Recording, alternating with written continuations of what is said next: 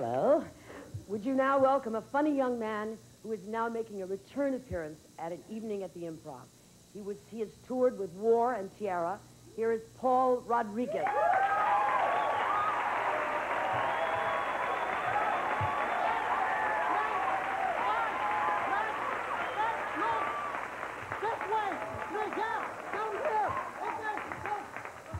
Sexy woman, no? Yeah. Yeah. Not sexy, but she's Italian, and there's a lot of Italians here, which I'll tell you something, I never make jokes about Italians. Because I don't want to wake up with a horse's head in my bed.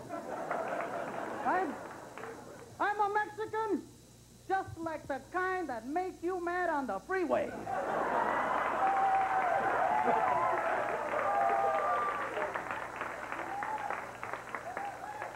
And, and we understand the situation. Our cars only go 35 miles an hour. Yours would too if you had 40 Mexicans in the trunk. People get upset right there behind you. Beep, beep, damn it, move, move, we gotta go to work. We don't have no work to go to. Which leads me into Reaganomics. Yeah? From the Chicano perspective, Mexicans, we like Ronald Reagan. We don't like his policies, but we can identify with his hairdo. He combs it back, plenty of pomade. That's enough to get that Hispanic vote. So good man, Reaganomics. Ronald Reagan and his programs. I'd like to thank him because I'm here under the CETA program for Hispanic comedians. But you're sitting there wondering, how do you know that I'm a Mexican? Well, here's proof, tortilla. For you, tortillas. Ladies and gentlemen, this is America. When I tell you I'm a Mexican, don't misunderstand me. I'm American. And it's great to be American, and so are all of you. Ethnic groups is what made America the unique nation in the world. Where else but in America could a Mexican girl date an Irish guy, drive a Japanese car to a Chinese restaurant, come back and be arrested by a black cop?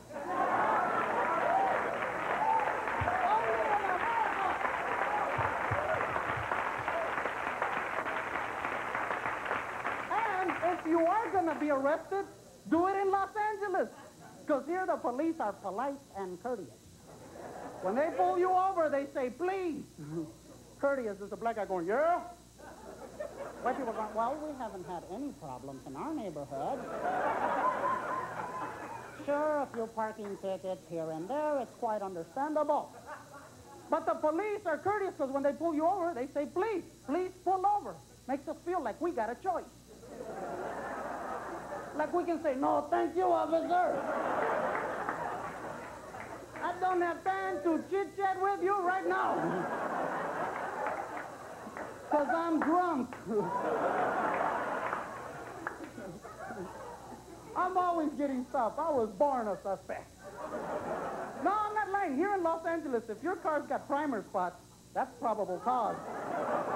They'll pull you right over.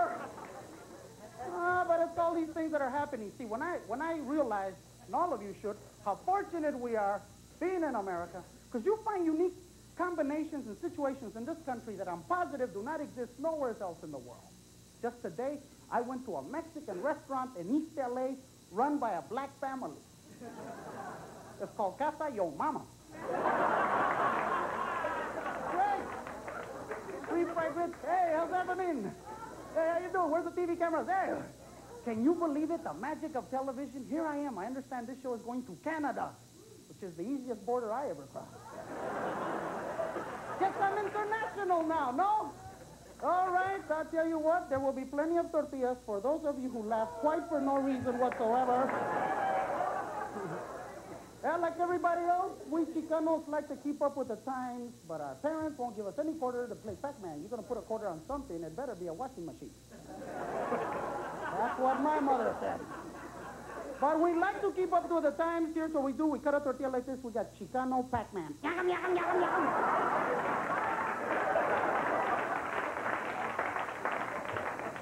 Yes, yes, I'm a Mexican, but it could have happened to you. You could have been a Mexican. Look at his face. He's going, what a horrible thought. Sends up and down my unemployment check. Ladies and gentlemen, Mr. Cameraman, focus on me, please. Huh? Don't badger these guys. They went to school for this.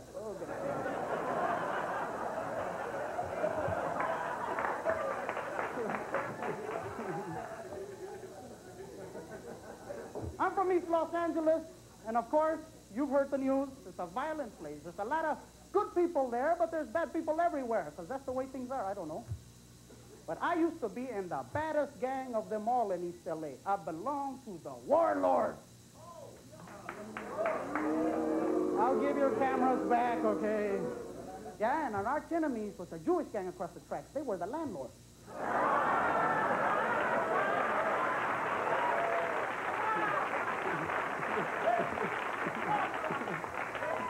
There's a Jewish person in the back. Some Jewish people, don't be offended. My father is half Mexican, half Jewish. He's a migrant stockbroker.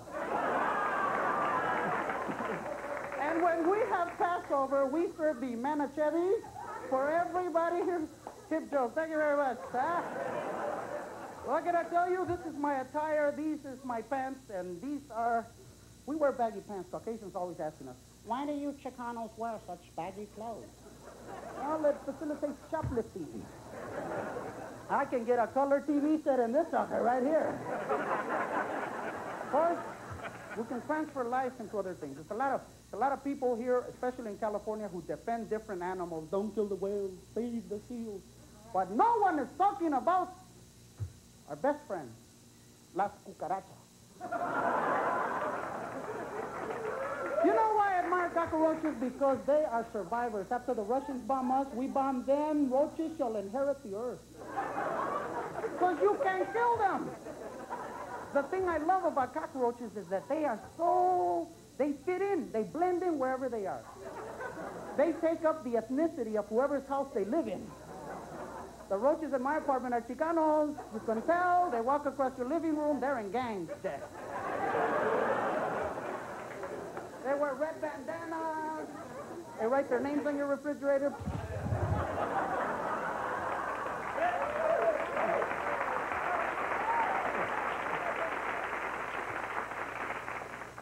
Because all of that boils down to the point I'm trying to make, is that here we are, and we've got no choice but to get along.